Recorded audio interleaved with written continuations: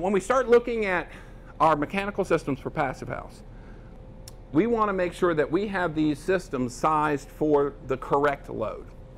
And we need to take into account all interior heat gains when we're doing that because we're basically building a thermos that's trapping this heat in there. So we want to make sure that we understand what we're trapping.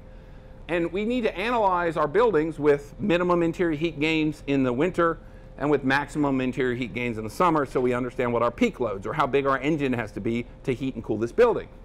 Now, why is this a problem? Well, one of the things that, that we have in this country is this large area of mixed humid climate. The only other place in the world that's got the kind of climate that we have is in China. This is not an, an issue that they have dealt with very heavily in the European passive house movement. It is an issue that we deal with in North America. Why is it an issue? Well, sensible and latent heat loads. Now, what's the difference?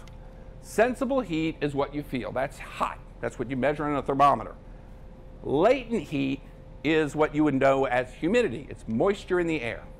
Latent heat is the moisture that's within the air. So what, what do we know about in the summertime in August? It's not the heat, it's the humidity. It gets kind of moist around here in, in August, hot and steamy. Not as steamy as where I live in Virginia, but certainly enough that it's uncomfortable. And if you've got infiltration of air into your assemblies, you're not only transporting moisture into the assembly, which is going to build moisture, but you're also transporting that moisture into the house, and then you're creating a load on the mechanical equipment that it's going to have to cool, and it's not only going to have to cool, but it's going to have to dehumidify. That's what the latent side does.